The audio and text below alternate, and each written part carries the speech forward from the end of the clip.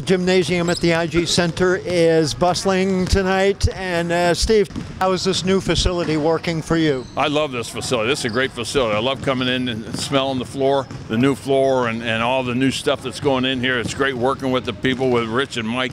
And I, I just, I, everybody's so comfortable in what they're doing and, and they're very outgoing on, on trying to help you. I've been doing camps for over 20 years back in Toledo. And when we moved down here last March, I ended up coming over here and saying, what can we do to, to try to improve the uh, youth basketball here in the area and try to teach them a few things about the game and let them have a good time.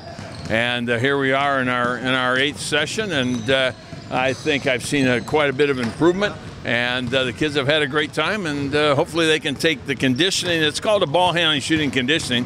Hopefully they can take that right into tryouts over the past 20 years developing this program, um, you, you, come up with some unique techniques of your own? Well, it's, it's all the stuff that I, I, basically learned when I was playing in the NBA for 13 years, and the things that I've learned from other coaches over the past past years, and I try to implement them in a, in a, in a succession of you learn this, you go to A to B to C to D. There's no skipping any any session. I mean, if, if you were if you were Michael Jordan, you could go A to M to Z. But no, but we don't have too many of those kids. So you got to go A to B to C to D, so on and so forth down down the line.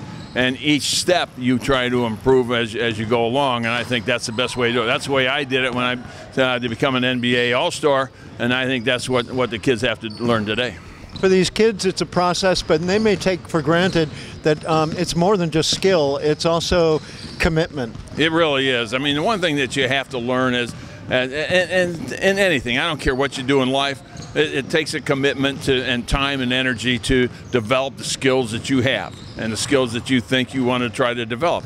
And the kids today, uh, the kids in here are working exceptionally hard. They're all trying to improve.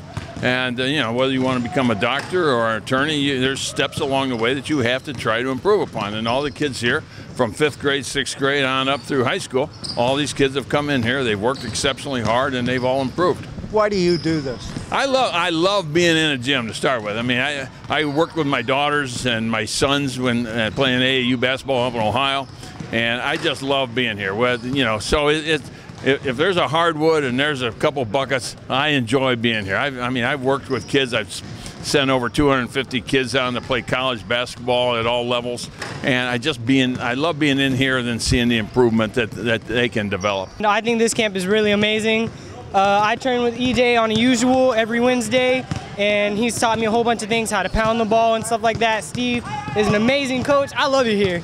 I wish I'd never it never stopped. I think this camp is it's good because we can learn how to improve our game, learn different moves to make our game better.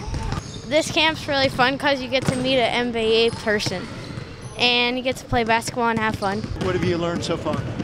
A lot of different moves and like layups. Have you seen improvement in yourself? Yes, I have. And what areas do you think you still need to work on? Uh, like driving to the hoop and finishing. I think this camp is um, really great because you get to like um, you get to develop your skills and get better.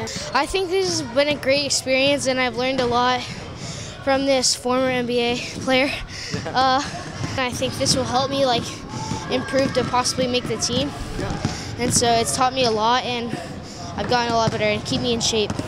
Now that you've gotten a taste for the talent here in Indian River County, will there be another camp? Well, we're going to have we're going to try to do another camp uh, uh, in early December. Then we're going to do one in the spring. And the spring is, is, is really one of those that the kids have to be focused on because we really delve into some really uh, uh, intricate parts of, of uh, the game of basketball. And then I'm going to have camps next summer in June. Uh, anywhere from a special needs camp to for the kids. Uh, we're going to have post camp. We're going to have perimeter camp. We're going to do all sorts of stuff, and that'll all be on the website here at uh, the rec center.